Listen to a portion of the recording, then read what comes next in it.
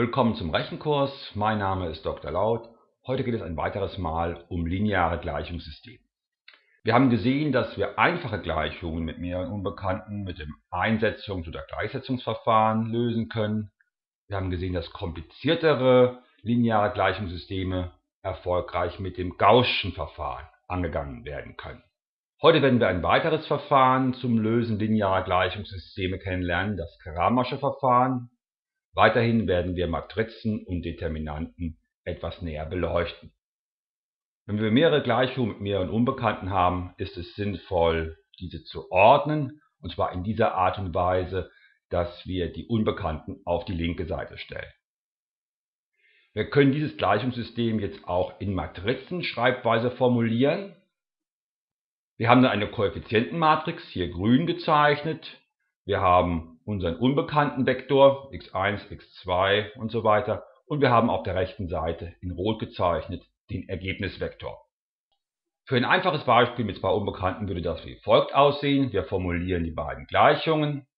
Wir transformieren in eine Matrizenschreibweise. 1, 1 minus 1, 2 ist die Koeffizientenmatrix, 5, 4 ist die Ergebnismatrix. Das Ganze funktioniert prinzipiell für beliebig viele Unbekannte. Wenn wir vier Unbekannte haben, brauchen wir vier unabhängige Gleichungen. Entsprechend erhalten wir eine 4x4 Koeffizientenmatrix und einen Vierzeilen Ergebnisvektor. Wenn Sie sich an das lineare Gleichungssystem zur Stöchiometrie erinnern, so hatten wir diese vier Gleichungen, die könnten wir jetzt zu dieser Koeffizientenmatrix und dem einfachen Ergebnisvektor 1, 0, 0, 0 zusammenfassen. Mit der Kramerschen Regel kann man nun aus dieser Form des linearen Gleichungssystems in einfacher Weise die Lösungen ermitteln. Bevor wir jedoch zur Kramerschen Regel kommen, noch ein Wort zu Matrizen und Determinanten. Eine n mal n-Matrix kann als Abbildungsmatrix gesehen werden. Ähnlich wie eine Funktion aus einem Element einer Definitionsmenge ein Element einer Wertemenge macht, ordnet eine Abbildungsmatrix einem Vektor x1, x2 einen Vektor b1, b2 zu. Wenn wir aus den Ortsvektoren, die zu diesem Dreieck gehören, die Abbildungsmatrix 0,50, 0, 0,5 anwenden, erhalten wir drei andere Vektoren, die ebenfalls ein Dreieck aufspannen. Wir haben eine Streckung um den Faktor 0,5 durchgeführt und die Abbildungsmatrix ist charakteristisch für diese Abbildung. Wenn wir auf die Ortsvektoren dieses Quadrates die hier grün gezeichnete Abbildungsmatrix anwenden, entsteht daraus diese Figur. Tatsächlich ist diese Art Abbildungsmatrix charakteristisch für eine Drehung. Wir können im Prinzip beliebige Abbildungen durch Matrizen darstellen, zum Beispiel hier eine Scherung. Das Ganze funktioniert auch im 3- und n-dimensionalen Raum mit entsprechend 3x3 oder n-n Matrizen. Wir wollen gar nicht weiter in die Matrizenrechnung einsteigen. Was ich Ihnen hiermit zeigen will, ist die geometrische Bedeutung der sogenannten Determinante. Jede n mal n Matrix hat eine Determinante, eine Zahl, eine Kenngröße, die ihr zugeordnet ist. Man kürzt das ab entweder mit DET vor der Matrix oder mit Betragstrichen. Die Determinante ist eine reine Zahl, kann aber sowohl positiv als auch negativ sein. Determinanten sind nur von quadratischen Matrizen definiert, hier zum Beispiel die Determinante einer 3x3 Matrix. Die Determinante einer Matrix lässt sich sehr schön anhand der Abbildungsmatrix visualisieren. Tatsächlich stellt die Determinante den Faktor dar, um den die abgebildete Figur größer oder kleiner ist als die ursprüngliche Figur.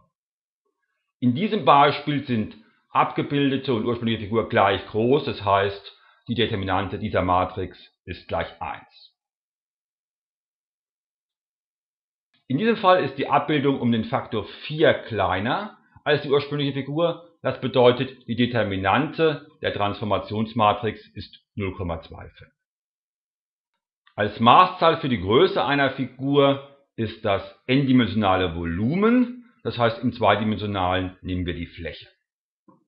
Es gibt auch eine Rechenvorschrift zur Ermittlung der Determinante für eine 2x2-Matrix sieht die wie folgt aus. Die Koeffizienten, die auf der Diagonale von links oben nach rechts unten stehen, werden positiv genommen und multipliziert. Die Koeffizienten, die auf der Diagonale von links unten nach rechts oben stehen, werden multipliziert und von dem ersten Produkt abgezogen. Wenn wir beispielsweise die Determinante der hier grün gezeichneten Koeffizientenmatrix berechnen wollten, müssten wir 1 mal 2 minus minus 1 mal plus 1 rechnen. Das heißt, wir hätten hier die Determinante 3. Diese Matrix entspricht also einer Abbildungsmatrix, die die Fläche um den Faktor 3 vergrößert. Die Rechenregeln zur Ermittlung der Determinante größerer Matrizen werden sehr schnell komplizierter. Hier zum Beispiel die Determinante einer 3x3 Matrix mit Hilfspfeilen zur Ermittlung der Summanden. Wir brauchen uns diese Rechenregeln aber gar nicht zu merken, denn es gibt eine Möglichkeit, die Determinante einer großen Matrix auf die Determinanten von kleineren Matrizen zurückzuführen. Das funktioniert mit dem Entwicklungssatz von Laplace. Wir können diese Determinante einer 3x3-Matrix auf drei Determinanten von 2x2-Matrizen zurückführen, sogenannte Unterdeterminanten D11, D12 und D13. Die genaue Rechenvorschrift von Laplace ist hier gegeben. Tatsächlich müssen wir die Unterdeterminanten mit den entsprechenden Zeilen- oder Spaltenkoeffizienten multiplizieren und dann noch das Vorzeichen nach einer bestimmten Rechenregel ermitteln. Wir wollen die Unterdeterminanten dieser 3x3-Determinante nach der ersten Zeile entwickeln, also nach der Zeile A11, A12, A13. Wir erhalten entsprechend drei Unterdeterminanten. Wenn wir die Unterdeterminante zum Element A11 erhalten wollen, streichen wir die Zeile und die Spalte dieses Elementes und was übrig bleibt, ist die Unterdeterminante D11. Entsprechendes gilt für die Unterdeterminante D12. Hier streichen wir die erste Zeile und die zweite Spalte. Was übrig bleibt, ist unsere Unterdeterminante. Schließlich können wir auch noch die erste Zeile und die dritte Spalte streichen und erhalten die Unterdeterminante D13. Besonders sinnvoll ist das Laplace Verfahren dann anzuwenden, wenn wir sehr viele Nullen in einer Zeile oder Spalte zu stehen haben, denn damit werden die entsprechenden Unterdeterminanten wegfallen. Wir wollen diese 4x4 Determinante nach der ersten Zeile entwickeln. Das heißt, wir erhalten dann vier 3x3 Determinanten. Die rot gezeichneten Koeffizienten, nach denen wir entwickeln, stehen als Faktoren vor den Unterdeterminanten. Die erste Unterdeterminante erhalten wir, indem wir die oberste Zeile und die linke Spalte streichen. Die zweite, dritte und vierte Unterdeterminante entsprechend wenn wir nacheinander die weiteren Spalten streichen. Wir haben hier dreimal den Faktor 0, das heißt wir müssen nur noch die linke Unterdeterminante jetzt berücksichtigen. Diese entwickeln wir nach der zweiten Spalte und erhalten drei 2x2 Determinanten. Die Koeffizienten stehen als Faktoren vor den Unterdeterminanten. Wir streichen die zweite Zeile und nacheinander die erste, zweite, dritte Spalte. Auch hier fallen zwei Unterdeterminanten weg. Letztendlich müssen wir nur noch eine Unterdeterminante der Größe 2 mal 2 berechnen. Dazu wenden wir die einfache Diagonalenvorschrift an. 0 mal minus 1 minus 2 mal minus 1 mit dem Faktor 2 davor ergibt sich 4 als Determinante dieser und der Ausgangsmatrix. Besonders sympathisch sind uns also die Determinanten mit vielen Nullen als Elementen, denn diese können wir leicht berechnen.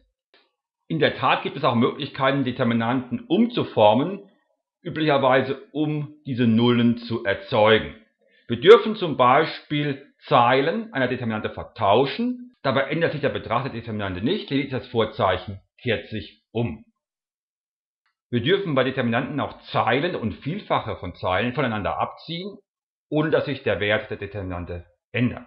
Schließlich dürfen wir auch Faktoren in Zeilen von Determinanten ausklammern, das heißt, wir dürfen diese als Faktor vor die Determinante stellen. Auf diese Art und Weise kann es gelingen, immer mehr Nullen in eine Determinante unterzubringen. Im Extremfall erhalten wir eine superdiagonale Form der Determinante. Das bedeutet eine Determinante, in deren unterer linker Hälfte nur noch Nullen stehen. Solche Determinanten lassen sich sehr einfach berechnen. Wir müssen einfach nur die Elemente der Hauptdiagonale multiplizieren. Wir wollen die Determinante dieser 4x4-Matrix berechnen. Wir wollen nicht aufwendig wie vorhin nach Laplace entwickeln, sondern wir wollen versuchen, die superdiagonalen Formen zu erhalten. Wir wollen gezielt Nullen in der unteren linken Hälfte der Matrix erzeugen. Dazu ziehen wir zunächst die erste Zeile einmal von der zweiten Zeile ab und dann die erste Zeile dreimal von der dritten Zeile ab. Jetzt ziehen wir die zweite Zeile dreimal von der dritten Zeile ab und die vierte Zeile dreimal von der dritten Zeile. Jetzt vertauschen wir die dritte und vierte Zeile, wobei wir nicht vergessen dürfen, dass jetzt ein negatives Vorzeichen mit ins Spiel kommt. Das habe ich oben links eingetragen.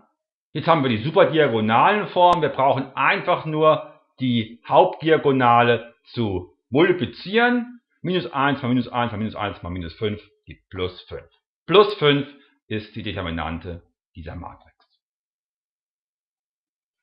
Jetzt, wo Sie wissen, wie man eine Determinante berechnet, kommen wir zur Kramerschen Regel zur Lösung eines linearen Gleichungssystems. Wir haben unser lineares Gleichungssystem in die Matrizenform umgeformt. Die Kramersche Regel sagt jetzt, dass die Lösung xi, also x1, x2, x3 und so weiter, dieses Gleichungssystem sich erhalten lässt, wenn man einen Bruch formuliert, im Nenner des Bruches steht die Determinante der Koeffizientenmatrix und im Zähler des Bruches steht eine Hilfsdeterminante, bei der jeweils eine Spalte der Koeffizientenmatrix durch den Ergebnisvektor substituiert wurde. Für ein lineares Gleichungssystem mit drei Unbekannten sieht das wie folgt aus. Wenn wir x1 erhalten wollen, dividieren wir durch die Koeffizientendeterminante im Zähler steht die Koeffizientendeterminante, bei der die erste Spalte durch den Ergebnisvektor substituiert wurde. Für x2 sieht der Nenner genauso aus, aber beim Zähler wurde jetzt die zweite Spalte durch den Ergebnisvektor substituiert. Und für x3 sieht die Formel entsprechend aus. Wir wollen unser einfaches Gleichungssystem mit den zwei Unbekannten mit der Kramerschen Regel lösen. Hier sind die ursprünglichen Gleichungen, hier ist die Matrizenschreibweise. Nach Kramer erhalten wir die Unbekannten x1 und x2, indem wir jeweils Quotienten formulieren, in deren Nenner die Determinante der Koeffizientenmatrix steht und in deren Zähler die entsprechende Hilfsdeterminante zu finden ist. 1, 1 minus 1, 2 ist die Koeffizientenmatrix. Für x1 wurde die erste Spalte substituiert, für x2 wurde die zweite Spalte substituiert.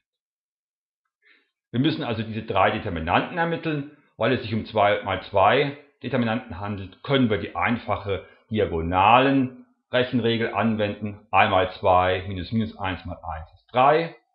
5 mal 2 minus 4 mal 1 ist 6 und 1 mal 4 minus, minus 1 mal 5 ist 9. Wir setzen die Determinanten in die Kramerschen Quotienten ein, erhalten x1 gleich 6 Drittel oder 2 und für x2 gleich 9 Drittel oder 3. Während das einfache Einsetzungs- und Gleichsetzungsverfahren lediglich für 2 bis 3 Unbekannten sinnvoll anzuwenden ist, kann man das Kramersche Verfahren für beliebig große lineare Gleichungssysteme anwenden. Sie erinnern sich an unsere Aufgabe aus der Stöchiometrie. Hier hatten wir eine 4x4 Koeffizientenmatrix. Wir wollen dieses Gleichungssystem nach dem Kramerschen Verfahren lösen. Aus Zeitgründen wollen wir nur die unbekannte x2 ermitteln. Im Nenner des Kramerschen Koeffizienten steht die Koeffizientenmatrix. Im Zähler des Kramerschen Koeffizienten wird jetzt hier die zweite Spalte der Koeffizientenmatrix durch den Ergebnisvektor substituiert. Diese beiden Determinanten kommen Ihnen vielleicht bekannt vor, denn wir haben sie im Laufe der heutigen Vorlesung schon berechnet. x2 ist 5 durch 4 ist 1,25. Wir fassen zusammen. Insbesondere größere lineare Gleichungssysteme sollte man in die Matrizenform überführen und dann zum Beispiel mit der Kramerschen Regel oder mit dem Gaußschen Verfahren lösen. Für die Anwendung der Kramerschen Regel müssen wir die Determinante von Matrizen berechnen. Wir haben die Rechenregel zur Ermittlung der Determinante einer 2x2 Matrix diskutiert und wir haben gesehen, dass wir kompliziertere Determinanten vereinfachen können, vor allem indem wir sie in die superdiagonalen Form überführen. Als Lösungen eines linearen Gleichungssystems nach Kramer erhalten wir Quotienten. In den Nennern der Quotienten stehen immer die Determinanten der Koeffizientenmatrix. In den Zählern stehen die Hilfsdeterminanten, bei den jeweiligen Spalten der Koeffizientenmatrix durch den Ergebnisvektor substituiert wurden. Danke für die Aufmerksamkeit. Auf Wiedersehen.